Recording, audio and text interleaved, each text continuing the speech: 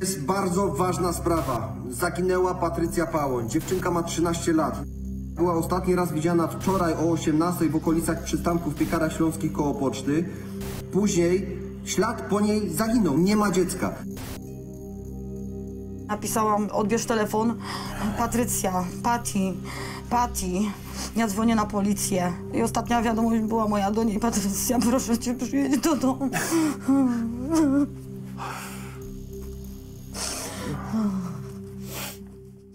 Poszukiwania zaginionej Patrycji trwały niecałą dobę. Doprowadziły do tragicznego odkrycia. Poranione ciało trzynastolatki, przykryte kartonami, zostało znalezione na terenie nieużytków w piekarach śląskich.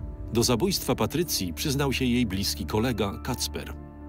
Mówiła, że się zakochała, ale to jest jej pierwsza miłość w ogóle.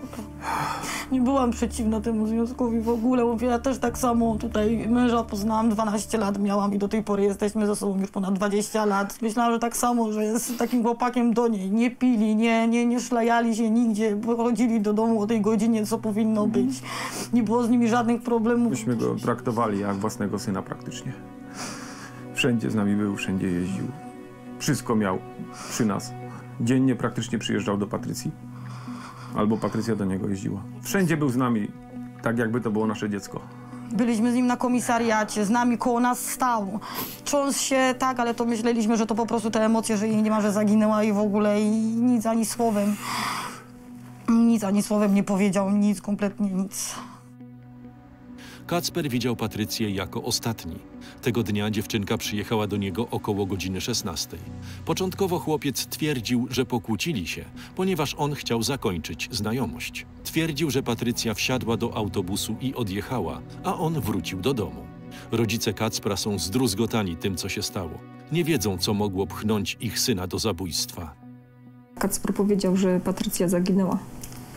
Jak wtedy syn się zachowywał? Normalnie się zachowywał. Nie było po nim widać, żeby był jakiś rozdrażniony, czy...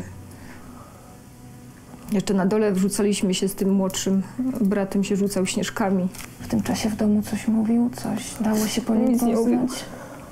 Że stało się coś niepokojącego? Nic.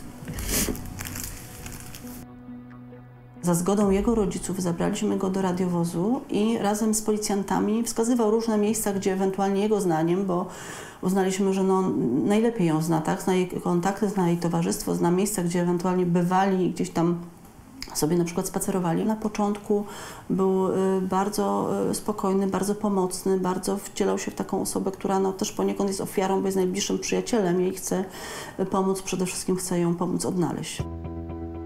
Zwrot w poszukiwaniach nastąpił, gdy do policji zgłosił się świadek, który widział Patrycję i Kacpra wsiadających razem do autobusu. Wtedy chłopiec zmienił wersję zdarzeń. Kolejna wersja, e, którą e, nas uraczył, tak to nazwijmy w cudzysłowie oczywiście, to sytuacja, że byli na tych nieużytkach, byli e, tam spacerowali, no i w pewnym momencie ktoś ich zaatakował.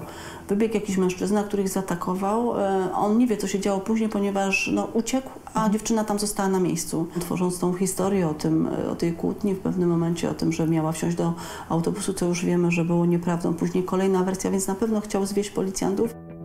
W pewnym momencie doszło do takiej decydującej rozmowy e, z chłopcem, e, kiedy już, no trudno powiedzieć, żeby się załamał, ale już nie miał właściwie niczego w zanadrzu, żadnej opowieści dla nas ciekawej, która by tłumaczyła to, co się wydarzyło i wskazał dokładnie, gdzie były zwłoki.